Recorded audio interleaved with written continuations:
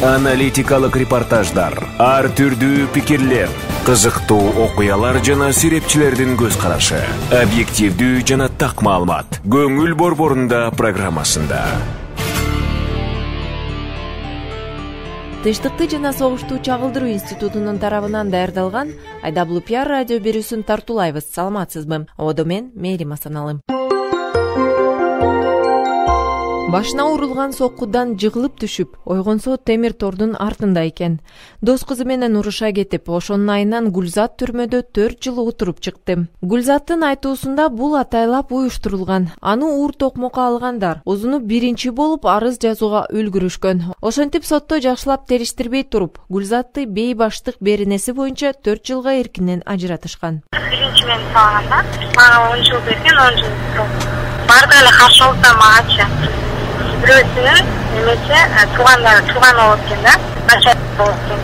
Монастырь деп эскерди ал. Бир жутум таза аба. Өткөн жылдын октябрь айында гүлзат түрмөдөн чыккан. Ал ошондо эң негизги нерсе эркиндик жана иштөөгө болгон мүмкүнчүлүк экенин түшүндү.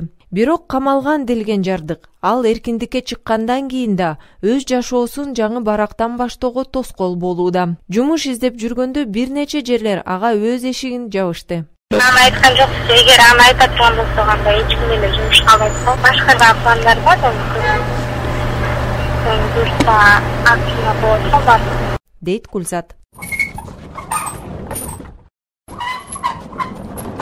Түрмөдө сегиз жыл отургандан кийин нуржамал өткөн жылы жакшы журум турумдары үчүн жалпы режимдеги абактан жатак абагына которулган. Ал жерде башка жарандардай эле эркин жылып жүрүүгө жана эмгектенүүгө укуктарына ээ.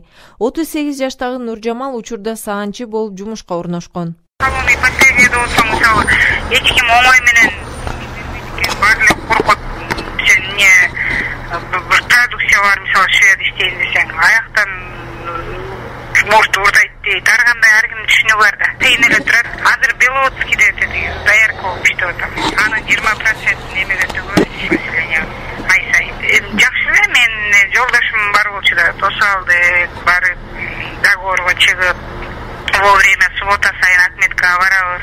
Тамызган кечикпеш керек. Дейт нуржамал нуржамалдын жашоосу калыбына келе баштады. Жолдошу аны кабыл алды. Коомго кайра көнүүгө ага жардам берип жатат. Бирок адистер мындай учурлар саналуу гана экендигин айтышууда. Анткени дээрлик көпчүлүк учурларда түрмөгө камалгандардан коомчулук гана эмес бир туугандары да жүзүн буруп калышат. Жыйырмага жакын общественный фонд неправительственный организациялар менен келишимдер түзүлгөн. Бошоноорго алты ай калганда биз жанагы байланыш үй бүлөсү менен байланыштыруу болбосо чыккандан кийин кайда барат документи барбы жашай турган жери барбы ушулар тууралуу уже э, немелер башталат да иштерчи. Э, жана дом на полпути деген бар же болбосо астерия деген бар бул именно наркозависимый аялдар үчүн да чыкканда куликан деген бар бул непосредственно ошо аялдар колониясынын жанында жайгашкан үч айга чейин жашаса болот пока ал жумушту алып документин восстановить этип үй бүлөсү менен байланыш түзгөнгө чейин. Биздин коомдун ошолорго болгон көз карашын өзгөртүү жагы керек болуп турат да ушул маалдачы дейт жаза аткаруу мамлекетинин басма сөз кызматынын өкүлү элеонора шаршеналиева эгер интернеттен гуглден издөө салса түрмөдөн чыккандан кийин өз үй бүлөлөрүнө кайтуу жөнүндө сурамжылоону киргизсек анда гугл талкуулар менен толгон көп сандагы форумдарды берет.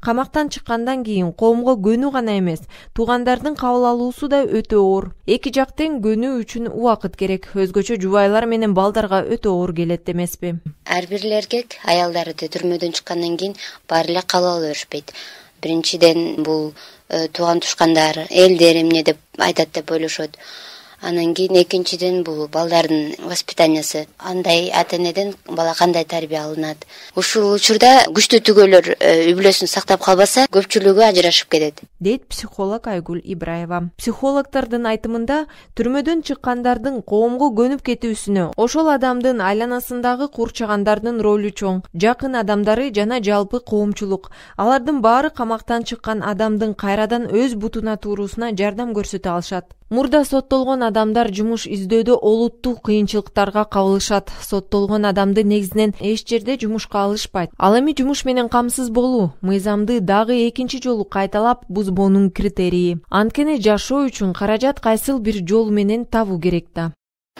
Кандай гана келишим тигүү болбосун абактан чыкты дегенди укканда баардык эле жумуш берүүчүлөр баш тартышат анан башкадан баягы биздин анализ боюнча же аз айлык прилагать этишет экен деп кошумчалады элеонора. Ошондуктан учурда мурда соттолгондорду жумушка орнотуу боюнча атайын мамлекеттик программаны иштеп чыгуу маселеси курч турарын укук коргоочулар айтышууда. Коңшулаш казакстан республикасында соттолгондорду жумушка орнотуу атайын жумуш менен камсыздоо борборлору тарабынан жүргүзүлөт. Бул жерде бир жыл ичинде жүздөн ашык мурда соттолгон адамдарды жумушка орнотушкан. Ошол эле мезгилде орусияда мурда соттолгондор үчүн социалдык реабилитация борборлорду түзүү пландаштырылууда. Ал жерлерде абактан чыгып барар жери жок адамдар жашашып жана иштешмекчи. Мы пытаемся сейчас восстановить производство именно в учреждениях. Биз соттолгондор эркиндикке чыгышкандан кийин иштей алышы үчүн мекемелерде өндүрүштү калыбына келтирүүгө аракеттенип жатабыз. учурда эркектер үчүн мындай өндүрүш бар. Аларды жумушка алып жатабыз. алар курулуш иштеринде иштеп жатышат. Мужчины бывшие осужденные тоже мы их берем на работу строительной работой занимаются ал эми соттолгон аялдарга өз жашоосун жаңы барактан баштоого эркинен ажыраткан жерлерде жардам берүүгө аракеттер болуп жаткандыгын жаза аткаруу мамлекеттик кызматы белгиледи. Аларга эркиндикке чыккандан кийин кийинки жашоосуна негиз болгон кесип беришет. Аялдар колониясынын базасында өздөрүнүн кийим тиккен жана нан бышыруучу цехтери бар. Андан сырткары адистик лицейдин мугалимдери жыйырма адис боюнча жарым жылдык курстарды атайын класстарда окутушат.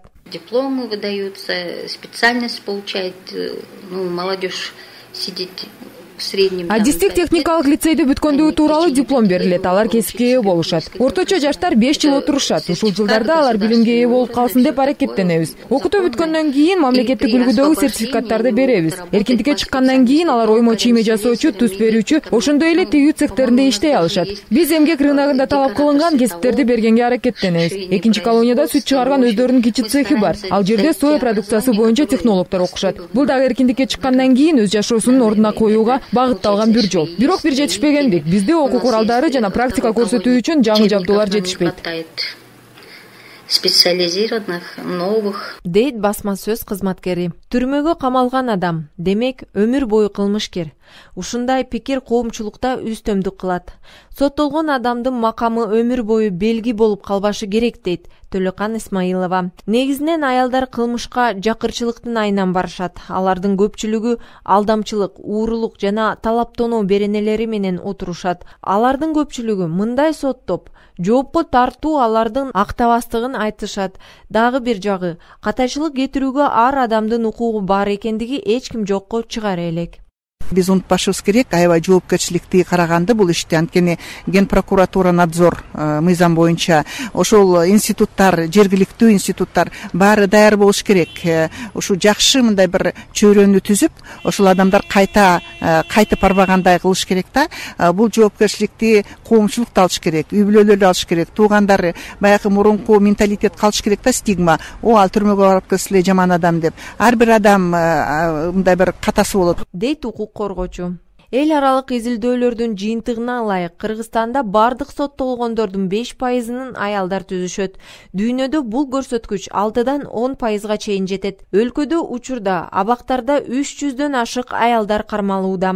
Казакстанда болсо бул көрсөткүч үч миң элүү адамды түзөт ошону менен катар биздин мамлекетибизде аялдар үчүн бир колония болсо ал эми казакстанда андай колониялардан алтоо кээ бир учурларда соттолгон кош бойлуу аялдар түрмөдө көз жарган учурлар кездешет.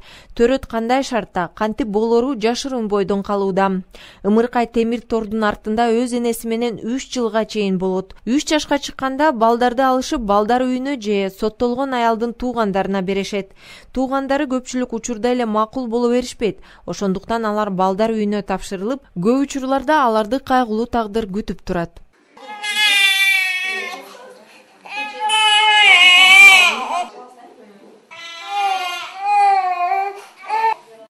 балдары бар соттолгон аялдарга жеңилдик берүү демилгеси бүгүнкү күнү депутаттар сунуштап жатышат. Эгер демилге колдоого ээ болуп калса тогуз жүз адамга амнистия берилет. Бул кош бойлуу үч жашка чейин балдары бар аялдар кирет. Ошондой эле депутаттар түрмөдө отургандар коомго жараксыз адам эмес толук кандуу жаран болуп келишин камсыздаган шарттарды мамлекеттик программаны карап чыгуу зарылдыгын белгилешүүдө. Өзгөчө бул аялдарга тиешелүү. Анткени дал ушул аялдар биздин келечегибиз болгон кийинки муундарды балдарды тарбиялашат эмеспи. Силер тынчтыкты жана согушту чагылдыруу институтунун тарабынан даярдалган айдаблу пиар радио берүүсүн тыңдадыңыз баардык радио материалдарды айдаблу пиар чекит нет жана кабар чекит азия сайттарында окуп жана уга аласыңар. Чыгарылышты мен мээрим асаналы алып бардым. Аман болуңуздар